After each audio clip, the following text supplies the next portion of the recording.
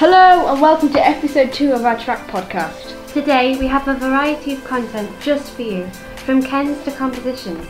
And talking to you throughout will be myself, Penny and James.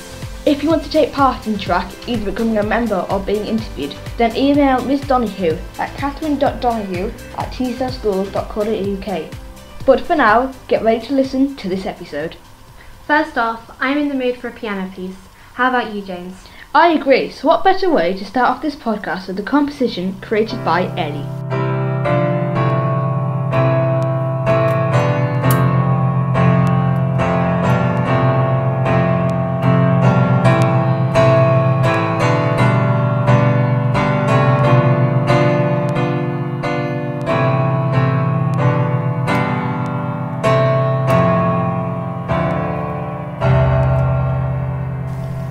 I don't know how people do it. As much as I try, songwriting is not my forte. It does take a lot of time to do, and Ellie has definitely nailed it. Yeah, I love that piece. I'm not sure about you, James, but I could listen to that on repeat for hours. I could as well. We have a podcast to present. Listeners, if you will have a musical talent that you'd like to share or a musical friend who wouldn't mind being interviewed, then make sure you email Miss Donahue at catherine.donahue at teesdaleschool.co.uk to take part. Next up, we dive into a world of no common sense as Adam talks about Ken, who's been taking the law just a little bit too far. Today we have this term's issue of the Kens of the world. I hope you enjoy because this is surely is a strange one. Imagine a small child. Barely in nursery, he struggles to speak whilst happily playing in his baby mobile. Then he encounters a wild Ken. Large, grey, porky, he strides across the pavement, arms folded, and locks eyes with this toddler. He then screams, low and booming, Where is your license? The child cries, the Ken screams, the mother runs. It was chaotic in this peaceful Pennsylvania playground. This is continuous Ken content. Okay, now that was funny.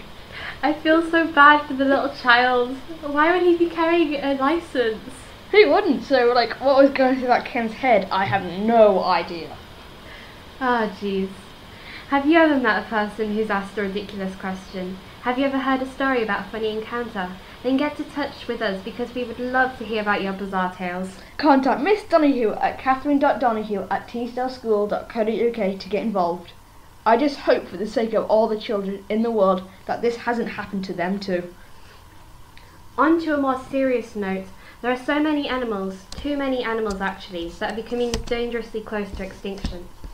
We need to be more aware of this, and Penny has included a section just for that, looking at three of the most endangered animals. Welcome back to my Tops of the Time where I look at some of the tops in our world. This time I look at the top three of some of the most endangered animals. First off, the giant panda. These BFGs first became endangered in the 1980s due to excessive poaching. After that, their numbers rose only to drop again a few years later, this time because of deforestation. This meant that there was a huge lack of plants to eat, including their prime source of food, bamboo.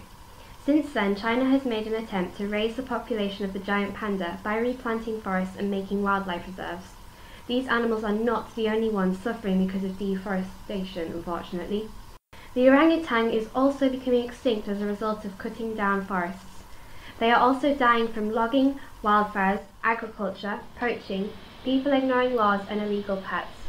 For instance, in 1997 and 1998, wildfires caused by climate change killed an estimated one third of the orangutans in Borneo. These are all caused by our behaviour and attitude towards wildlife. The third and final animal, the tiger, is slowly becoming extinct due to some of the same reasons habitat loss, climate change, and illegal poaching. Habitat loss is one of the biggest factors since it affects quite a lot of the tiger's lifestyle. For example, it limits the area of hunting ground for this predator. Not only that, their prey is also dying because of habitat loss. All of these issues interweave and most come down to the way humanity is acting. It makes me sad to think that animals living alongside us are suffering from our actions. Yeah, it is. But there are ways to change that. For more information, there are many websites online, such as rspca.org.uk, that support and help our wildlife. And if you want to help spread awareness, why not get a section in TRAC all to yourself to talk about these issues and how to help? You can do this by emailing Miss Donahue at catherine.donahue at teesdaleschools.co.uk. Next up, are you a sports fan?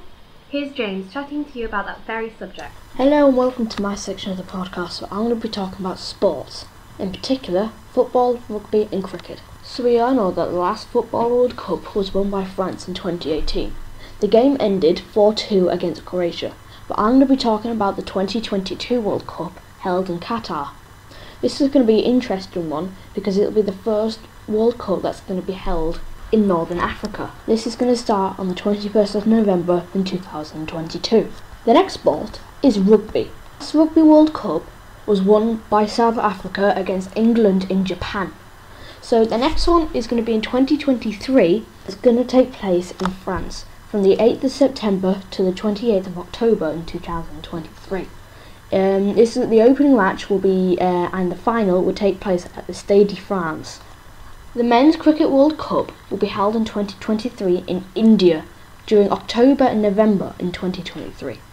This will be the first time the competition, competition is held completely in India, which is actually pretty interesting. Um, so this is going to be a uh, really cool tournament because England won the last one in 2019. So it's going to be an interesting, um, interesting way. So we don't know who's going to win this one. Also, there's going to be a FIFA Women's World Cup in Australia and New Zealand in 2023. The USA won the last FIFA Women's World Cup back in 2019. I'm not into a lot of sport, but it is interesting to hear about the different sports and their results. Personally, I love hearing about different sport results, so I find it interesting to talk about them. I hope you listeners did too. If you want to talk about a sport that appeals to you, then get in touch with, you guessed it, Miss Donahue at Catherine Donahue at teesdaleschool.co.uk to tell us. It would be nice to hear about your hobbies. Last but not least, here's a cheerful note to end this podcast as Penny looks at idioms people use that may be a bit confusing. Have you ever read or heard a weird or funny idiom and wondered what it meant? Well, here are four idioms along with their meanings and origins. Number one, cool as a cucumber. This expression was first recorded in 1732 by John Gay in one of his poems called New Song on New Similes. The meaning behind this cool idiom is that you are calm, relaxed, and unruffled by an event or challenge. 2. Bob's your uncle. This catchphrase dates back to 1887 when the English Prime Minister of the time appointed a secretary in Ireland out of favouritism. It was used as a sarcastic comment until it was eventually spoken in a way of saying, no problem. Nowadays it can be translated into many meanings, but the most accurate are, you're all set and you've got it made. 3. Put a sock in it. This idiom originated from the early 20th century, and it's used when someone is being noisy to annoy others.